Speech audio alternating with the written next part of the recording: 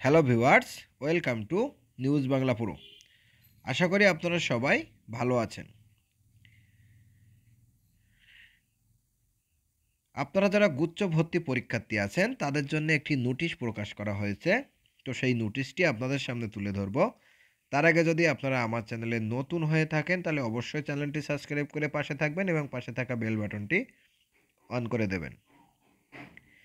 এখানে আপনারা হেডলাইনে দেখতে পাচ্ছেন, ইবিতে অষ্টম মেধা তালিকার ভর্তি শেষে চারশো আট আসন ফাঁকা ইসলামী বিশ্ববিদ্যালয়।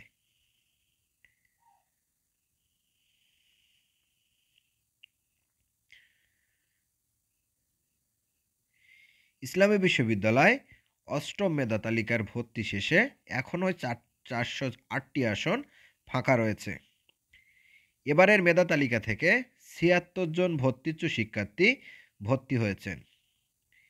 এদিকে শূন্য আসন পূরণে শুক্রবার কুড়ি জানুয়ারি নবম মেধা তালিকা প্রকাশ করেছে বিশ্ববিদ্যালয় কর্তৃপক্ষ।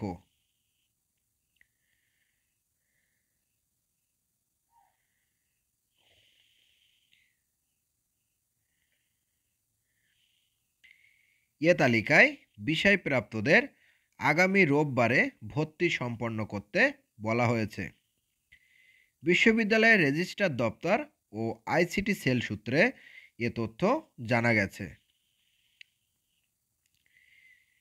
বিজ্ঞপ্তিতে বলা হয়, অষ্টম মেধা তালিকার ভর্তি শেষে এ ইউনিটে তিনশো পাঁচটি, বি ইউনিটে আটষট্টিটি, সি ইউনিটে পঁয়ত্রিশটি, মোট চারশো আটটি আসন খালি রয়েছে।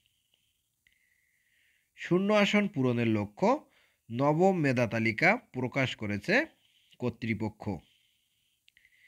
মেধা তালিকায় স্থান পাওয়া ভর্তিচ্ছুদের আগামী বাইশ জানুয়ারি অফিস চলাকালীন ভর্তি কার্যক্রম সম্পন্ন করতে বলা হয়েছে।